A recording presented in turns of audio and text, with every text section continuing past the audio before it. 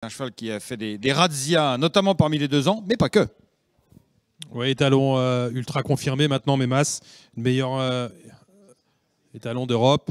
Et c'est la souche maternelle de la championne américaine Megahertz, présentée par Mayfield Stables.